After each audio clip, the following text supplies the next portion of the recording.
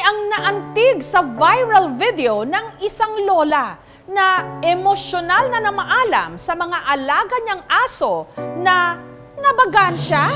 Animal lover man o hindi, tsak madudurog ang puso sa eksenang ito. Isang matanda, umiiyak na nagpaalam sa alaga niyang mga aso na nabagan siya.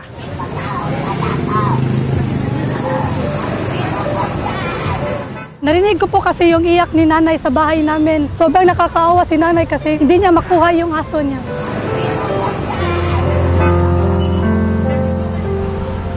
Dito sa Minglanilla sa Cebu, matatagpuan ang matanda sa video. Ang 60 anyos na si Nanay Ligaya. Bakit ano naman mo niro?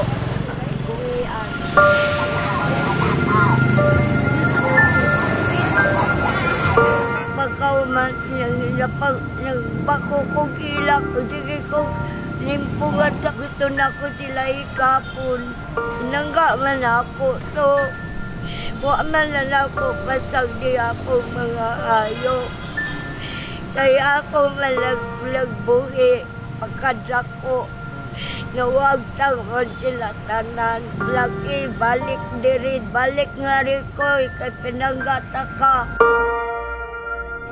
Ang mga aso ni Nanay, mga asong gala pala. Nangangat-ngat sila no, ng mga wire, ng mga Christmas lights, kaya na found sila. In-impound natin yung mga dogs because stray dogs sila. It's part of the National Rabies Program para ma-decline yung rabies para hindi din makagat yung mga tao sa labas.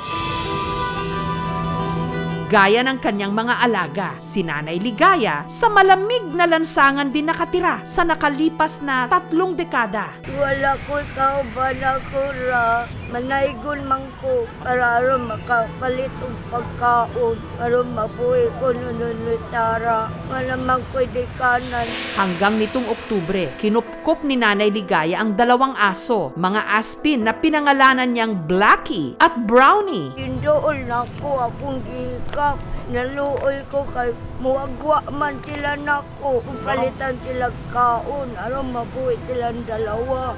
Ang sweet niya po, binibigyan niya ng mga pagkain, mga hinahag niya, ang close talaga nila. Sa kalagayan niya na homeless, nagagawa niya pong kumukop ng mga aso. Kaon koy. Hindi lang alaga ang turing ni Nanay Ligaya sa kanyang mga aso, kundi pamilya. Kaya ganun na lang ang kanyang iyak nung ang kanyang mga anak-anakan nabagan siya.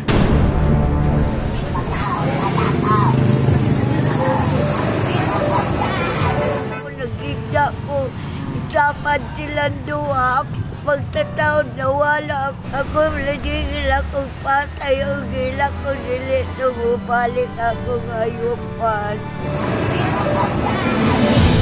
Ang mga alagang aso ni nanay dinala sa Municipal Nursery and Dog Pound na ito sa Minglanilla.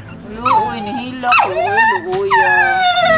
Hindi raw nila pwedeng isauli ang mga aso kay nanay, lalo't delikado kung sa kalsada ulit ang mga ito ititira. Hinahanapan pa ng mga taong responsible din na makakapag-alaga talaga sa mga aso. In case na mag-declare na ang doktor og ito. Si nanay, mahahanapan po natin siya ng matitirhan. Pwede pong isoli sa kanya yung aso. Walang problema, pwede natin isuli yung aso. Matagal na raw pinakiusapan si nanay na sa DSWD shelter tumira pero ayaw niya. E ganan man ko diri kay daga mang mga tagpinaskuhan na ako. Magbago kaya ang kanyang pasya kung ang mga aso na niya ang nakataya? Ako lang pamilya ang mga iro na ako. Gusto ko ko sa mga iro na ako. Ang nakakaantig na muling pagkikita ni Nanay Ligaya at ang mga nagpapaligaya sa kanya. Tingnan mo na! Angat! Susunod na!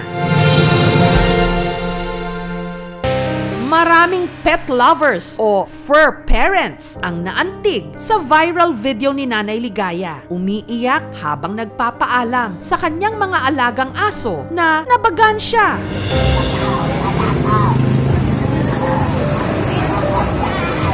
Ako lang pamilya ang mga iro na ko. Gusto ko ko sa mga iro na ko. Inangawan ako sila tanan.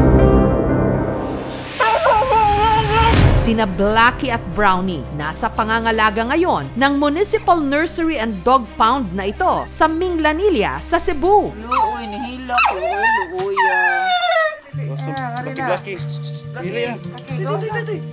Very good. Dali. Okay, G, close. At sa pakiusap ng aming team nitong Webes si Nanay Ligaya. Ngayon, bisita ni mo na. Awa. Nakapiling ang kanyang mga kaligayahan.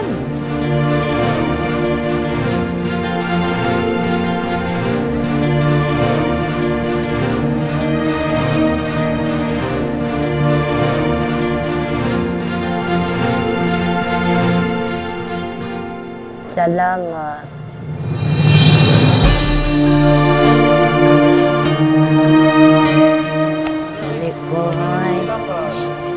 Mm. Langga taka kuya.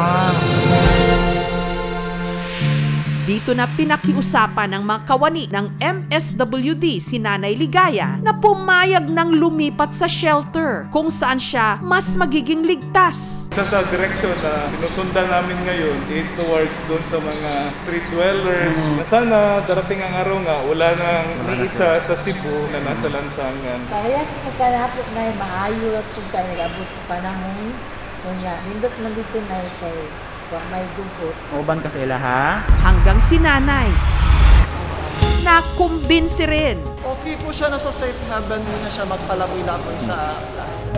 Binigyan din nila si Nanay ng damit, pagkain at vitamins. Salamat. Physically, okay si nanay. Mental state ni nanay, okay naman.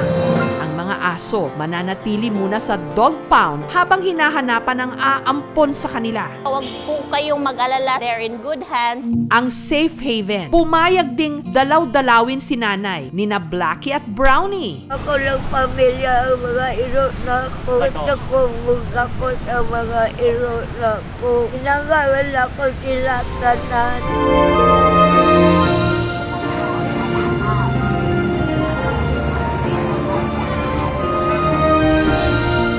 Madalas, kung sino pa ang walang-wala, sila pa ang nagbibigay ng pagmamahal Langga taka kuya. at pagkalinga. Thank you so much mga kapuso. Kung nagustuhan niyo po ang videong ito, subscribe na sa GMA Public Affairs YouTube channel. Don't forget to hit the bell button for our latest updates.